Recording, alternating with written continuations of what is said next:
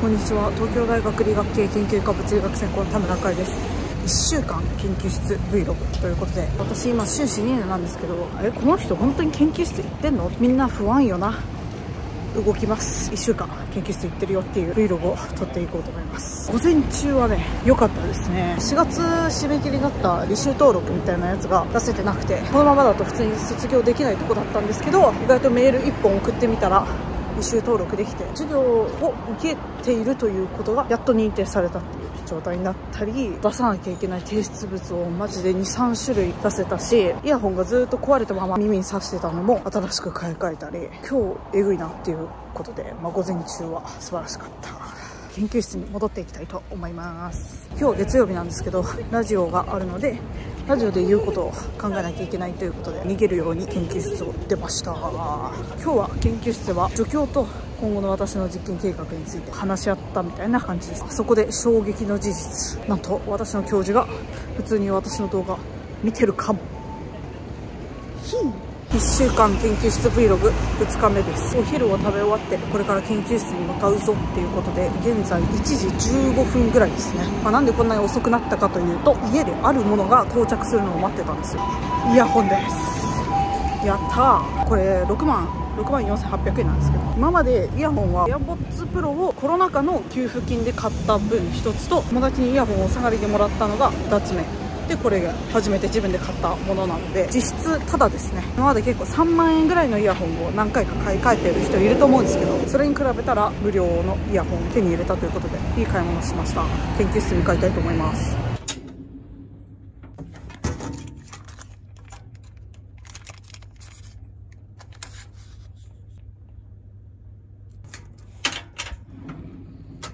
予言の時間になったので研究室を出て移動したいと思います。正直授業は受けなくても資料とかで同等でもなると思ってるので授業時間は研究室にいなくていい時間として授業にも出ないという感じの意識でいますね。ちょっと昼寝して動画を編集しようかなみたいな気持ちです、えー、2時間仮眠して1時間編集したという形になりましたね。結果的にね今日はもう帰ります。なんか隠れミッキーが見つかりそうな壁を見つけたのでここで隠れミッキーを1匹見つけたら帰りたいと思います。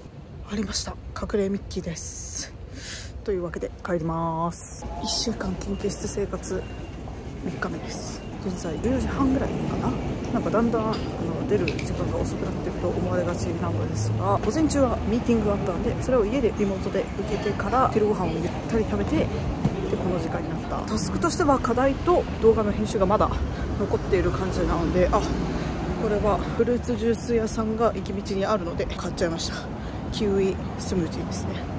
美味しいです。今日家帰ったら配信をしなきゃいけないという自分で決めちゃったんですけど配信をしなきゃいけないっていうのがあるので今日は研究室でやんなきゃいけない実験だけさらっとやって動画編集とか課題とかやるかなっていうイメージですね。結果的に午後14時半ぐらいにゆっくりスムージーを飲みながら研究室に登場するやつっていう感じになっちゃいますね。結果的にね。普通に考えて心象悪いです。みんなが優しいからセーフとされているけど普通に心象悪いな。大学に到着したので頑張ります。孤独です。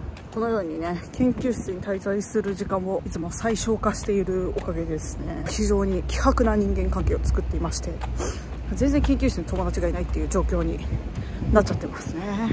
孤独ですね。非常に今日も孤独に実験頑張っていきたいと思います。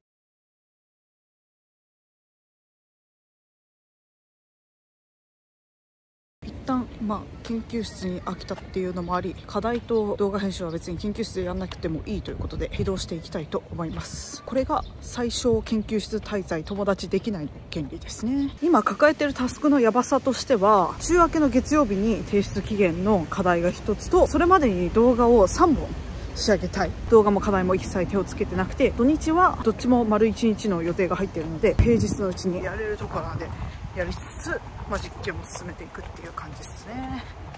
何をやっているんだろう。終了解放やったーという感じなんですけど助教の実験のお手伝いをしたんですけどこの作業お願いしますって言って頼まれてゴム手袋をつけるんですけどなんかその時めっちゃ汗かいちゃってゴム手袋が一向に手に入らなくてずっと手をバチンバチンやっていたら全ての作業が終わっているっていう事件はありました。自分の実験道具を管理してるところからいっぱいゴミが出てきてそれをあの見なかったことにして今逃げている状態なので明日はそのゴミをどうにかしなきゃいけないなって思ってる感じですね。うんまあ明日中に課題とかが終わればいいかなっていう感じですね。今日は普通に疲れてしまったので帰って編集して配信って感じです。研究室生活 Vlog4 日目です。現在朝の9時40分とかですかね。4日目にして初めて午前中に来たということで万歳。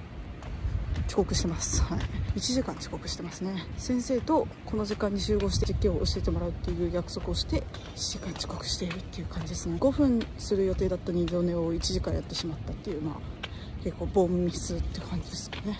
今日は今まで全部後回しにしてたタスクをやろうというやる気になったので、まあ、その辺を全部やりつつ動画も1本仕上げれればいいかな。あと課題も9割終わればいいかなって感じですね。ちなみに今課題の進捗状況は0.5割ですね。頑張ります。研究室終了ですね。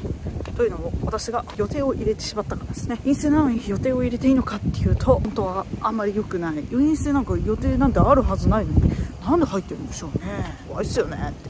私も思ってるんですけど今日助教と明日は絶対一緒に集まろうねって絶対朝一緒にここで9時に集まって絶対に成功させようねってうんってお互い誓い合ったので9時に必ず研究室について実験をできるように頑張りたいと思います。ちなみに課題の方は1ミリも終わりませんでした。その課題の進捗を悲観するより明日早く起きることしか今見えてなくて。明日早く起きることに対して今本気で向き合えているということの方に誇りを持ちたい。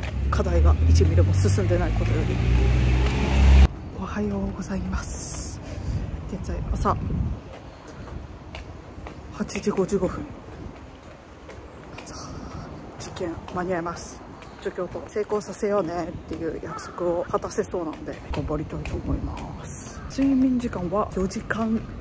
くらいですかね。動画を編集していたとか課題をやっていたとかでもなく YouTube 見てましたね。失恋した女の YouTuber の人がなんかすごい泣きながら語るみたいな1時間ぐらいの動画を普通に見ちゃったりして少女漫画好きなんで仕方ないですね。午前中の実験が終了いたしました。疲れたんですけど実験の方はとりあえず大失敗。っていう感じですね。失敗にもいろいろあると思うんですけど例えるならアクセルとブレーキを踏み間違えて大爆発っていう感じのイメージ。一旦ないっていう感じなので夕ご飯を食べに行きます。うどんです。異様にうまいんだけど何これ？っていう感じでした。めっちゃ美味しかったですね。というわけで渋谷に来ました。なんで渋谷にいるかというと髪を実験失敗しちゃったんで髪を切って未練を立ってまた新たな気持ちで午後の実験に臨もうっていうことで髪を切りに来ました。ねまた一歩吉野お稲荷くんに近づいたなっていう感じですね。髪の毛は頭をまな板に乗せてナタで切ってもらうスタイル。あのスタイルの美容院しか行ったことないです。あれめっちゃ好きなんですよ。ナタで切ってもらう。あのスタイルでいつも髪の毛を切っています。というわけで大学に着きました。午後も実験やりますか？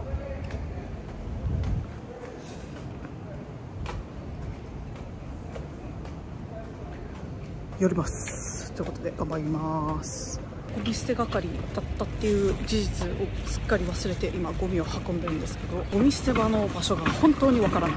今不安不安です。同じくカートを持ってる人についていったら佐川急便の人だったみたいで、まあ、よくわかんない場所に着いちゃったんですけどその後適当にキャンパスをさまよったらなんとたどり着きました。捨てます。終了ということで現在7時50分ですね。動画と実験が終わったっていう感じで今動画を書き出すためにパソコンを開けながら歩いてるんですけどまあそうですね。実験はうっすら失敗してるっていう感じですかね。ちょっと例えるのが難しいんですけどクックパットに載ってるよくわかんない主婦が作ったレシピ通りに作って美味しくなかったみたいなそんな感じですね。あんま実験とかそんな簡単にうまくいかなくて大変だなっていう感じですかね。1週間研究生活を一応見てもらったんですけど1週間だけだとやっぱり成果見えないっすね。一応動画が完成してミニタスクはこなせてるっていう感じなんですけどちょっともうちょっと大きな進捗が見せれれば皆さんの私への尊敬度が上がって私の地位が上がったのではないかと思ったんですけどまあしょうがないですね。皆さんも多分毎日頑張ってる仕事とか学校とかあると思うんですけどそういうのをこういう風に1週間でまとめて動画にしてみたらなんか見えてきたりするものがあるじゃないですかね。Vlog とか始めてみてはいかがでしょうか？ということで。ありがとうございました。